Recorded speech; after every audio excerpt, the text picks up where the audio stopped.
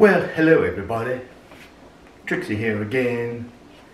And uh, I just finished making a video when I was wearing my uh, cute little denim, denim skirt.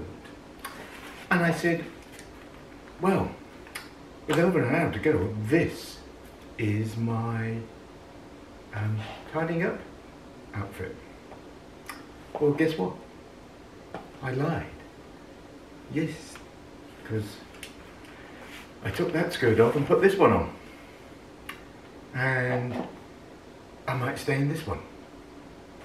Who knows?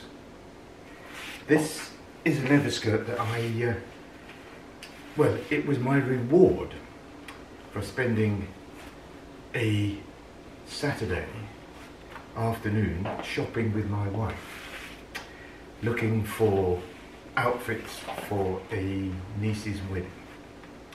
We went to lots of different places and we went to second-hand shops and we went up and down all the streets.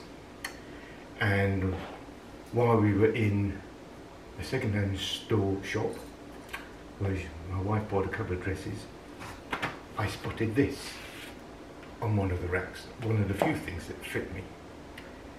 It's quite strange, I think, that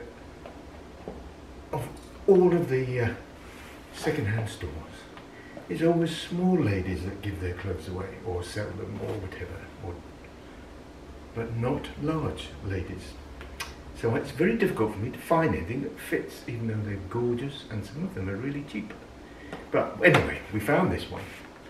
So I was allowed to buy it, or my wife bought it for me as a reward. So there.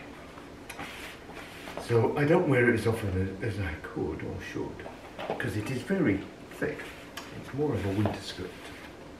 But anywho, I spied it in the same place I found my other skirts. I thought I put it on. Now that is my doorbell saying somebody's just hopefully walked past the house, not walking towards it. But anyway, they cannot see me because we've got the curtain up. Haha. Love you all. Bye bye.